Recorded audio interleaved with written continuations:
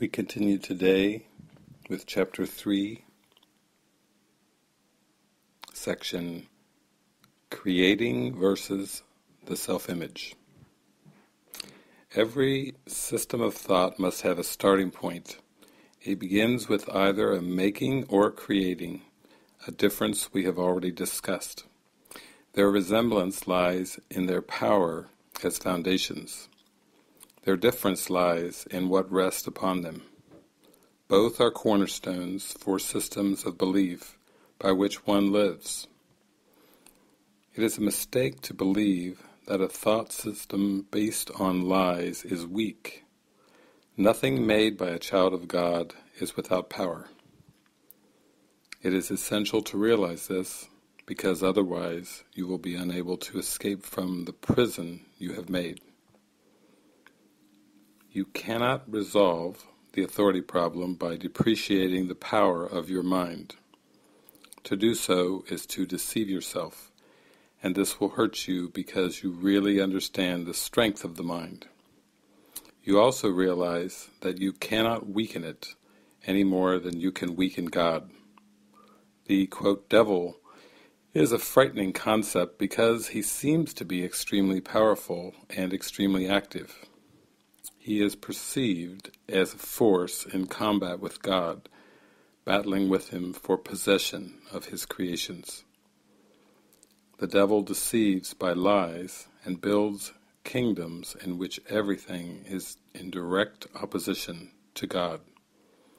Yet he attracts men rather than repels them, and they are willing to, quote, sell him their souls in return for gifts of no real worth. This makes absolutely no sense. We have discussed the fall or separation before, but its meaning must be clearly understood. The separation is a system of thought real enough in time, though not in eternity. All beliefs are real to the believer. The fruit of only one tree was, quote, forbidden in the symbolic garden, but God could not have forbidden it, or it could not have been eaten. If God knows his children, and I assure you that he does, would he have put them in a position where their own destruction was possible?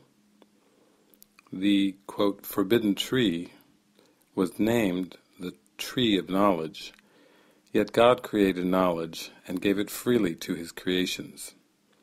The symbolism here has been given many interpretations, but you may be sure that any interpretation that sees either God or his creations as capable of destroying their own will, purpose, in, is in error. Eating of the fruit of the tree of knowledge is a symbolic expression for usurping the ability for self-creating.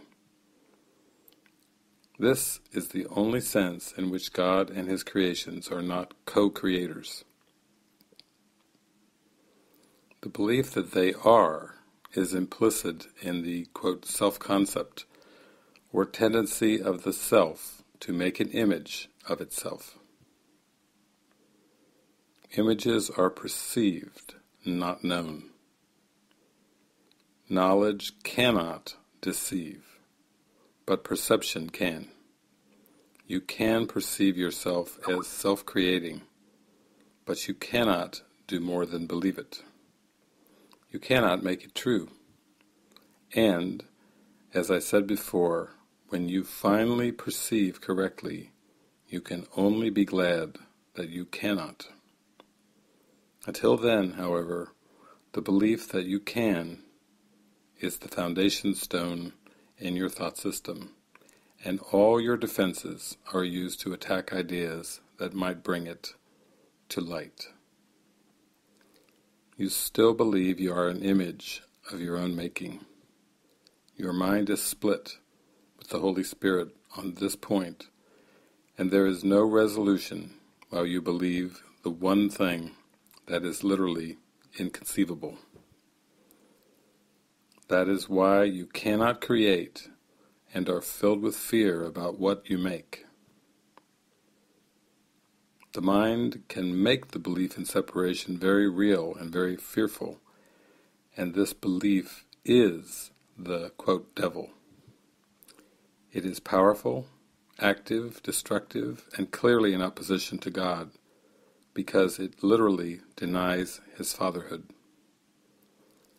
Look at your life and see what the devil has made, but realize that this making will surely dissolve in the light of truth, because its foundation is a lie.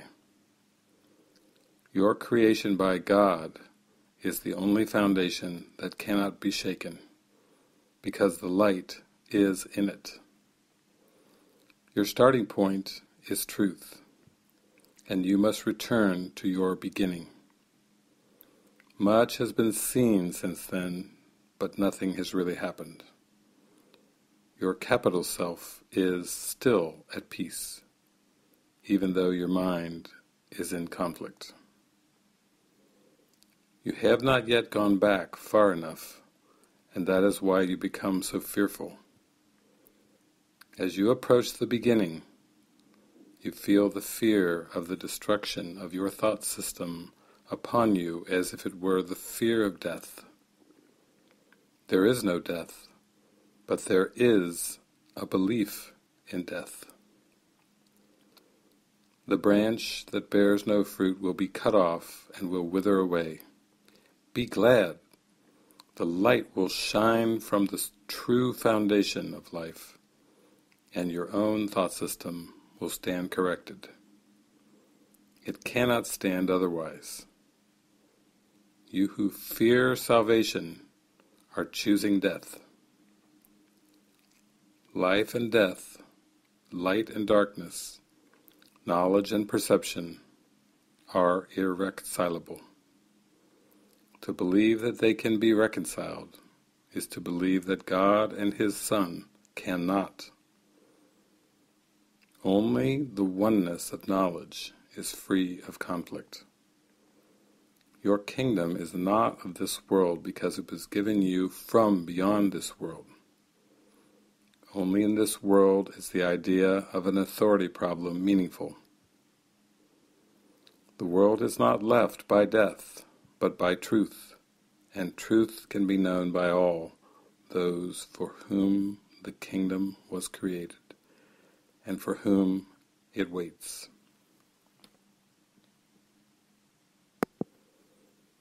And from the workbook, lesson number 22. What I see is a form of vengeance. Today's idea accurately describes the way anyone who holds attack thoughts in his mind must see the world. Having projected his anger onto the world, he sees vengeance about to strike at him. His own attack is thus perceived as self-defense. This becomes an increasingly vicious circle until he is willing to change how he sees. Otherwise, thoughts of attack and counterattack will preoccupy him and people his entire world. What peace of mind is possible to him then? It is from this savage fantasy that you want to escape.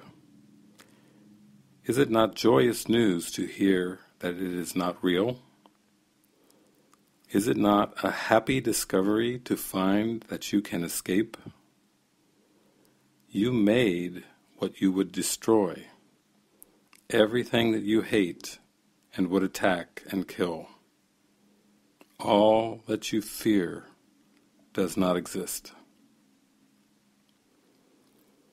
Look at the world about you at least five times today, for at least a minute each time. And as your eyes move slowly from one object to another, from one body to another, say to yourself, I see only the perishable. I see nothing that will last. What I see is not real. What I see is a form of vengeance. At the end of each practice period, ask yourself, is this the world I really want to see? The answer is surely obvious. What I see is a form of vengeance.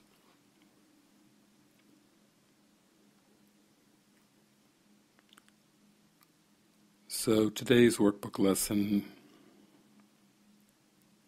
again ties together the mind with perception, thoughts with images, and particularly focuses on attack thoughts produce a perception that is a form of vengeance. What seems to be violence in this world is the acting out of attack thoughts that are held in mind, held in consciousness, desired to be there. The world is a witness of the thoughts in the mind. So Jesus tells us, having projected his anger onto the world, he sees vengeance about to strike at him. And then further, his own attack is thus perceived as self-defense. So anytime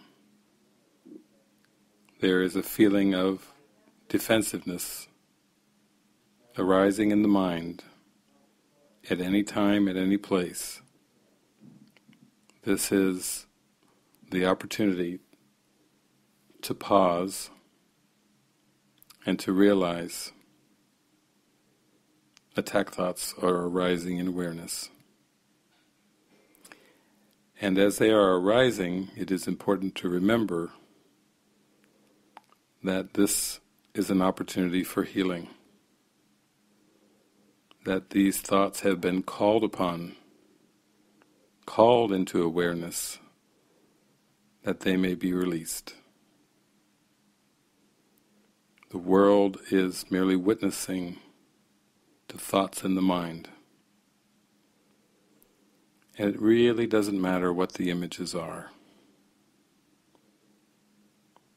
When there is an attempt to defend against an image or to justify a defense against an image, this simply means that attack thoughts are valued in the mind. And the ego is valued more than peace, more than love. And so today, we open up our hearts and minds to see the world differently, to release all attack, all vengeance, and to open to the peace of God deep within. To affirm in our hearts that there is nothing more that we want. To affirm again that this world is nothing more than the reflection of thoughts. To be grateful for the world, for its mirroring, for all the opportunities that we are given to release attack thoughts. Because we can only experience the peace of God, the innocence of spirit, as we see, as we experience the impossibility of attack.